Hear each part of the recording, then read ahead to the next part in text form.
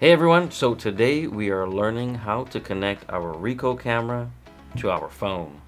First things first, you want to make sure that your Wi-Fi is on and you are not connected to any other network, whether that be home, at the dealership, um, at, at, wherever really.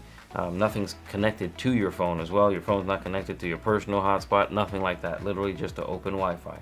Why? Because you don't want to cause any conflicts between the connection from your phone to your Ricoh camera. So first things first, we're going to turn our Ricoh on. I'm going to give it just about five seconds for the Wi-Fi signal to uh, start going out. Then I'm going to swipe down on my screen here to go to my Wi-Fi. Here you have top left corner.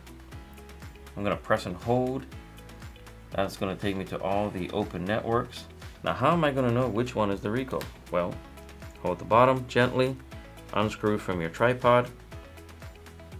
On the bottom, there is a, serial number. That's also your password. So what I do is I memorize the last four digits, 7821. And I'm gonna look for it here. It says theta, as you can see here, theta. I'm gonna highlight it, and 7821, I'm gonna click on it to connect to the network. It's gonna ask for a password. The password is going to be right here where you can see on top here, that's the network name. So from two, which is the numbers, 20107821, that's the password. All Ricohs are going to have the same exact type of serial number and password, right? So you'll have um, some letters, then you'll have the numbers. You're going to enter in all the numbers. So right here, 20107821 and connect. I'm going to screw this back on. Notice where I'm holding, right? So that way my fingers don't get on that, uh, on that fisheye lens, the lens here and here. You're going to get a pop-up. Pop-up says internet may not be available. You're going to click on or choose keep Wi-Fi connection. If you don't, you're not going to be able to successfully connect to your Ricoh. So now you're actually connected to your Ricoh. Now, there's two things you have to watch out for here. During your training process, you'll be able to utilize or you're going to utilize Digitalot and LotSync, two different platforms that we use in our company take photos and spins and the walk around video, the Ricoh camera. So first one on the Vim app, just for training purposes, just want to be able to show you that you're connected. This is how you're going to be able to check that you're connected. Going to go to record, spin 360. For the stock number, I'm going to type in test. For the VIN number, it has to be at least eight digits. So I'm going to type in test twice, I think, if I hit it there. And the title, I'm just gonna type in test again. Test. Then we're gonna go to browse.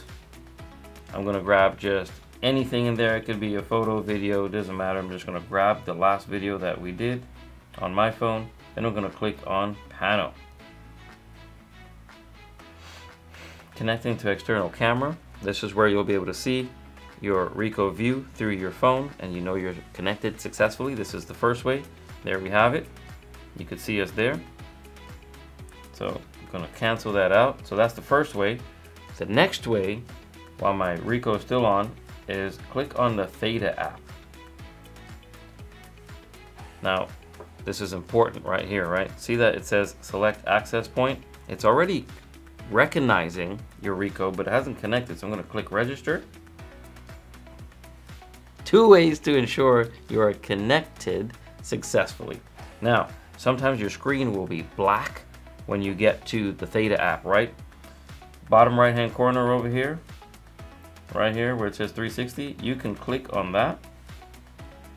Keep clicking on it until you see your view. So the view you'll use is this view here, the panoramic view. That's the view that you'll use and that is how to successfully connect your Ricoh. Now from here on out, every time you need to connect, you would just turn your Ricoh on and your phone would automatically connect. It takes about five to 10 seconds. We've timed it, 10 seconds being the maximum time. And that's it. If you have any issues connecting, I highly recommend turn off your Wi-Fi, turn off your Ricoh, wait a few seconds, five to 10 seconds, turn on your Wi-Fi, wait five seconds, turn on your Ricoh, and they should connect from there. Any other questions after that, you should reach out to your market manager or always feel free to reach out to myself. Thank you.